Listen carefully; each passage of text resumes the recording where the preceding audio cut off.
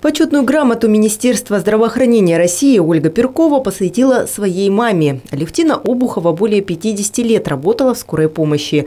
Медицинский стаж дочери превысил три десятка лет. Работа любимая, но непростая, признается Ольга Викторовна. Да, врачу всегда надо учиться. Сейчас тем более, когда мы попали под систему постдипломного непрерывного образования.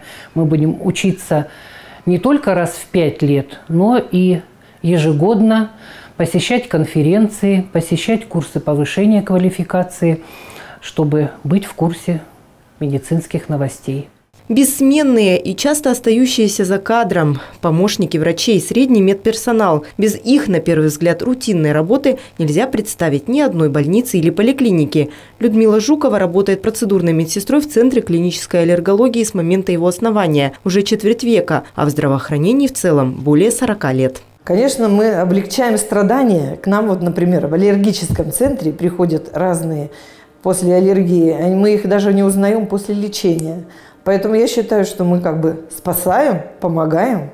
И в этом наша заслуга. Медсестра – это прежде всего ну, помощник все-таки больше даже пациенту. Все свои тайны, все проблемы все-таки пациент доверяет больше медсестре. А и медсестра выполняет все назначения врача. Как бы вот медсестра – это душа коллектива нашего.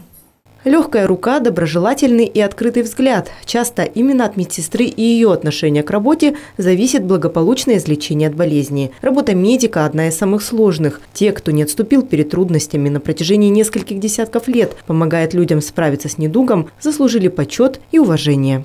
Евгения Шильникова, Дмитрий Новопашин. Местное время.